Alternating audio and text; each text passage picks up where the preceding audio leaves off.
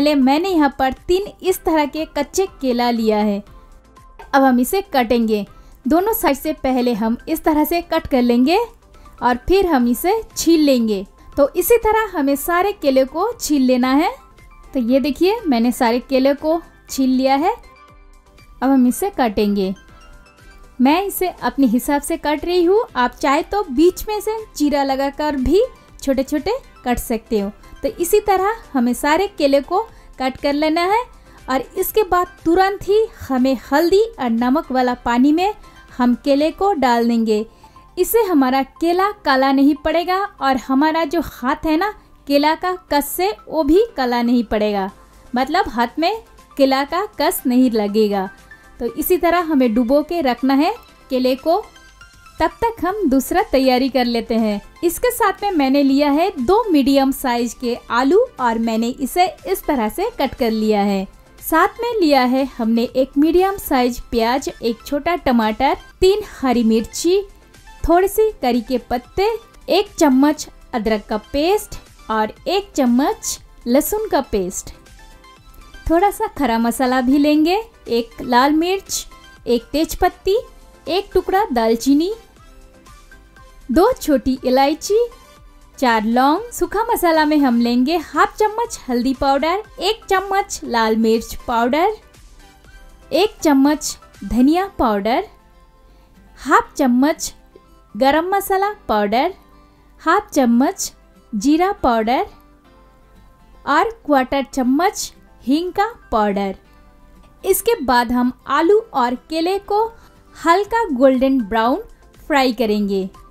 तो मैंने आलू को पहले से ही फ्राई कर लिया है और केला भी हमारा फ्राई हो गया है, ताकि वीडियो ज़्यादा लंबा ना हो जाए। इसके लिए मैंने पहले से फ्राई कर लिया है। अब हम इसे निकाल लेंगे फ्रेंड्स, अभी तक अगर मेरे चैनल को आप लोगों ने सब्सक्राइब नहीं किया तो प्लीज़ मेरे चैनल को सब्सक्राइब करिए और वीडियो को लाइक करिए। इसके बाद हम डालेंगे इसमें एक छोटी चम्मच सादा जीरा और जो हमने खरा मसाला लिया था, वो भी अब हम इसमें डाल देंगे। लाल मिर्च, तेजपत्ती दालचीनी, इलायची और लौंग को हम बाद में डालेंगे। हिंग का पाउडर भी डाल देंगे। अब हम इसमें प्याज डालेंगे। इसके बाद हम लौंग डालेंगे। लौंग को कभी भी डायरेक्ट ऑयल में ना डालें तो अच्छा है। कभी कभी लौंग छिड़क के हमारे फेस पे भी आ सकता है तो आप इस बात का ध्यान दें।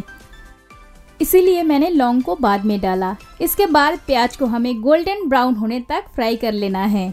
तो प्याज हमारा 90 परसेंट करीब हो गया है। अब हम इसमें ऐड करेंगे अदरक का पेस्ट और लहसुन का पेस्ट और इसे भी हमें एक मिनट तक भून लेना है प्याज के साथ में। इसके बाद हम ऐड करेंगे करी के पत्ते, हरी मिर्च। अब हम इसमें टमाटर भी डाल देंगे। थोड़ा सा मिला लेंगे और फिर हम इसमें ऐड करेंगे स्वाद के अनुसार नमक। टमाटर डालने के तुरंत बाद ही हमें नमक ऐड कर लेना चाहिए। इसमें टमाटर एकदम नरम हो जाते हैं और बहुत ही अच्छे से गल जाते हैं।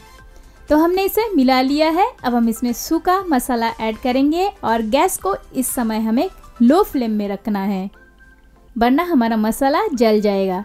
या तो फिर आप इसमें एक चम्मच पानी डाल दें और फिर मसाला को अच्छे से भून लें। इसमें जो है हमारा मसाला जलेगा नहीं। और मसाला को हमें तब तक भूनना है जब तक कि ना मसाला से ऑयल छूटे। तो ये देखिए, हमारा मसाला से ऑयल छूट रहा है मतलब हमारा मसाला बनके तैयार हो गया है। अब हम इसमें आलू डाल देंगे और आलू को भी मसाला के साथ में मिला के फिर हम इसमें पानी ऐड करेंगे। आलू और मसाला को हमने मिला लिया है। अब हम इसमें एक से डेढ़ कप पानी ऐड करेंगे। थोड़ा मिला ले। इसके बाद हम इसे लो फ्लेम में आलू को पाँच मिनट तक ढक के रखेंगे। पाँच मिनट हो गया है, अब हम ढक्कन को हटाएँगे। ये देखिए, हमारा आलू अच्छे से बॉयल हो गया है कुकड हो गया है। अब हम इसमें केला डाल देंगे। फ्रेंड्स, केले के सब्ज़ी में बहुत आयरन होता है तो सारा केला हमने इसमें डाल दिया है। एक बार मिला ले। इसके बाद हम इसे लो फ्लेम में दो मिनट ढक के रखेंगे। दो मिनट हो गया है, अब हम ढक्कन को हटाएँगे। बहुत ही अच्छा खुशबू और बहुत ही अच्छा कलर। एक बार मिला ले इसे। इसके बाद हम इसके ऊपर से थोड़ी सी जीरा पाउडर, यानी एक चुटकी जीरा पाउडर और एक चुटकी गरम मसाला पाउडर ऊपर से डाल देंगे। इससे खुशबू बहुत अच्छा होता है। आप अगर धनिया पत्ता खाते हैं तो ऊपर से थोड़ा हरा धनिया पत्ता इस तरह से डाल दे और इसे अच्छे से मिला ले।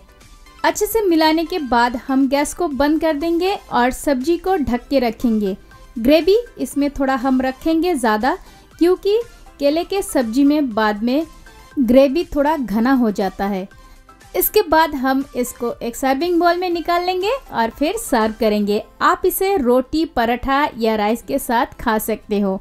फ्रेंड्स रेसिपी अच्छा लगे तो मेरे चैनल को सब्सक्राइब करिए और वीडियो को लाइक करिए।